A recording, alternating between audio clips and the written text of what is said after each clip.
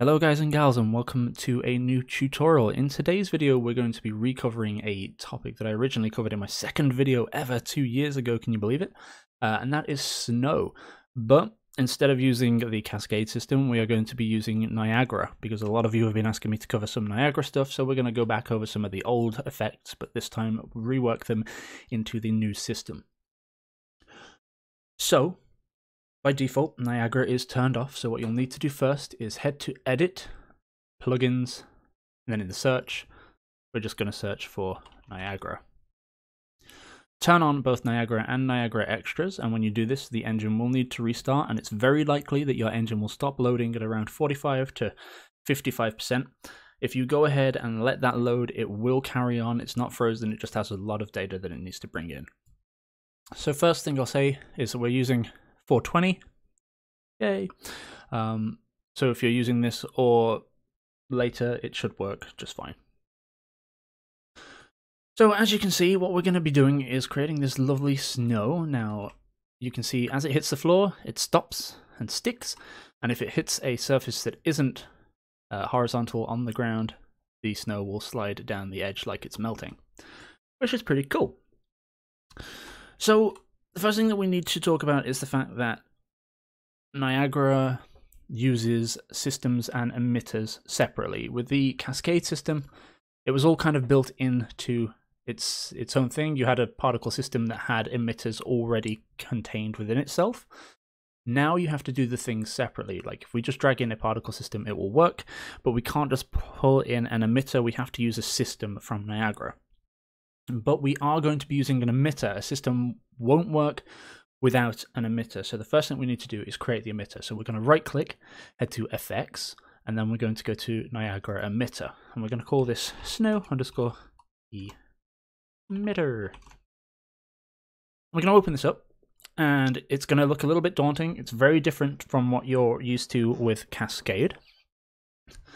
But essentially, all of this information here the different sections, green, orange, and red, are the same things that we have here in this lovely little list in the old system. The difference is that it some of it has different names, some of it's a bit harder to access, but the things that we can do with it are much greater.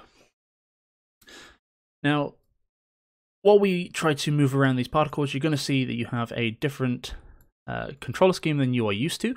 And this is because the orbit mode is turned on. So if you turn off orbit mode, you'll get your WASD back, which is, I much prefer. It's so much nicer. So what we're going to do is we're just going to edit these things to act and look more like snow. We're not going to change the material because this little white dot kind of does the job.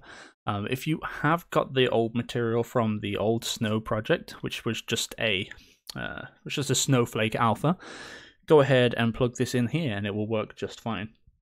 If you've created your own snowflake, that's cool, but we are just going to be using this for the purposes of this tutorial.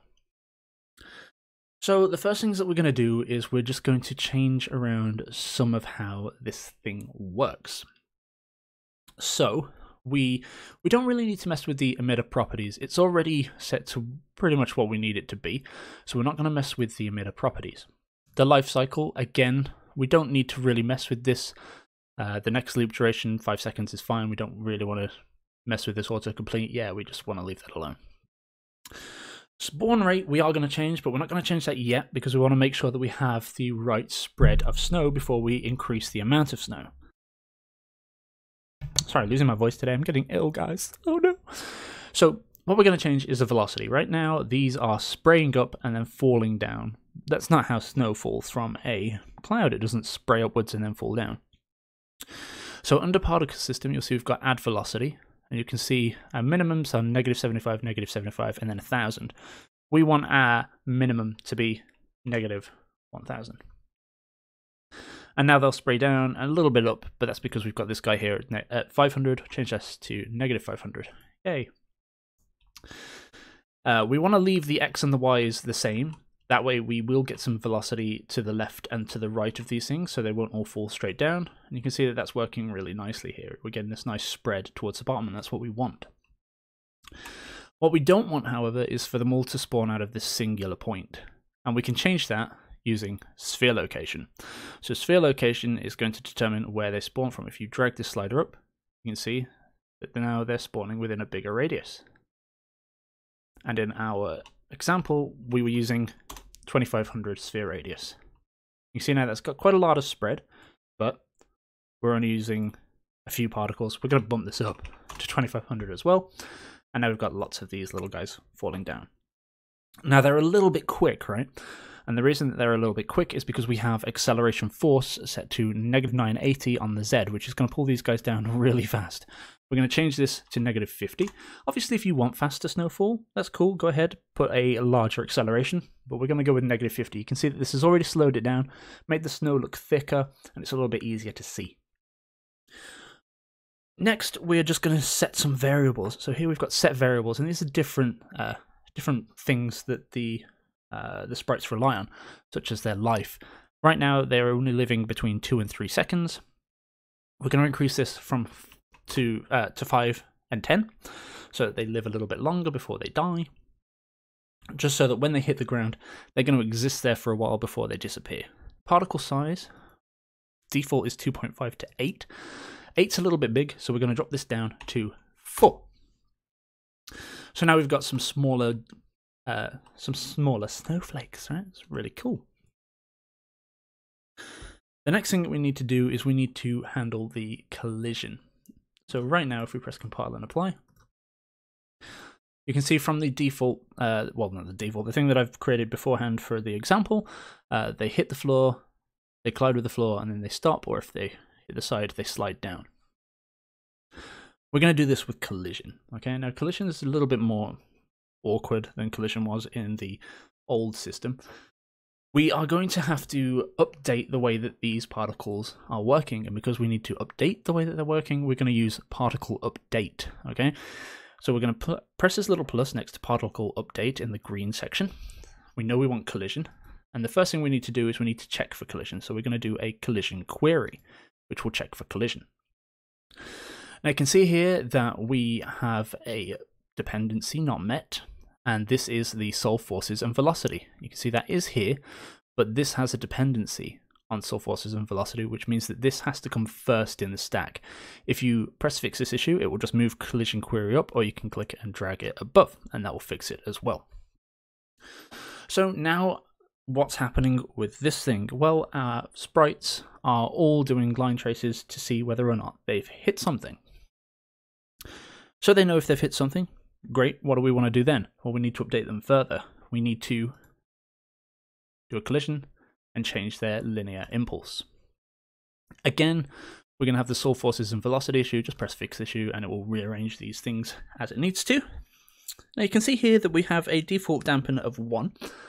And you may have already spotted on this little thing here, some of them are bouncing upwards because it is faking the collision. If we go over here to the example, and we give this a velocity of 1, I can show you what this looks like in the level. Boing, boing, boing, boing. They hit the floor and then they bounce off. Some of them with a bit more energy than others.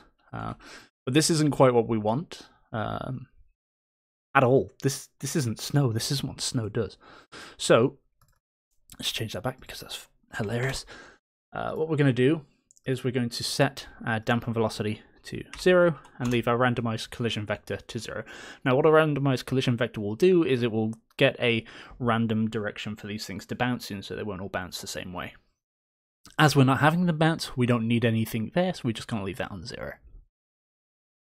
That is all of the defaults that we need. So what we can now do is we can... Uh, we're going to say yes, thanks. Uh, we're going to go into our uh, folder, right click, FX. Now we need a system. We're going to call this snow underscore system. We're going to open this up and you're going to be greeted with a very familiar view, except this time we have nothing inside of our emitters. Let's just turn orbit mode off. Um, and that's because we don't have any emitters inside of the system. Now down in the bottom left you can see we've got curves and we've got timeline. With timeline selected, press plus on the track, emitters, and choose your snow emitter and it will bring it in for you. Now this emitter is assigned to this system, so this system is now using the emitter that we've just plugged in. And you can see here it's brought over all of our defaults. Here we can change our values, so say we want to spawn 5000 instead, we can change our values here without changing the values of our original system. So you can see here our original system is still using 2500, and that's our emitter rather than our system. So our emitter uses default values, so we set default values here, and our actual system can have different values, but we'll always start with the default values of the emitter. So this allows us to create variants very, very easy by creating new systems. But as we've already set everything up that we need it to, uh, we, we need it to act the way that we want it to act for the snow, what we can do is we can delete the example, pull in our snow system, and there we are. Lovely jubbly. That's still falling a little bit quick for me. So I'm just going to go in, we're going to go to our acceleration, and we're going to drop this to negative 20. Just so that it falls a little bit slower. There we go. Nice. It sticks to the floor. And it should slide down if we get any that hit the side, we don't appear to be getting any that hit the side. So what we're going to do is we're just going to give this a little bit of acceleration like this wind. We're going to give it 5 on both the X and Y. And now we should see some that are starting to go a little bit sideways. There we go, we're getting them hit the side. Awesome. And again, if we wanted to, we could change the velocity of these things. We could say, you know, there we go, negative, negative, and zero. You can see we're getting some really floaty guys going around here now. You see, because they've got a lack of velocity in certain places, they're just going to glide a little bit better. But there you go, guys. That is how we can set up snow using Niagara. Now, if you're having some problems uh, setting this up, this project file will be available over on my Patreon to all of my Patreon supporters. And as usual, um, thank you everybody for watching. There won't be any links for resources this time because we're just using engine content, so there's nothing that I need to share with you guys. Uh, but there we go. Snow in Niagara. Woo! Woo! Thank you everybody for watching. I'll see you next time. Bye bye.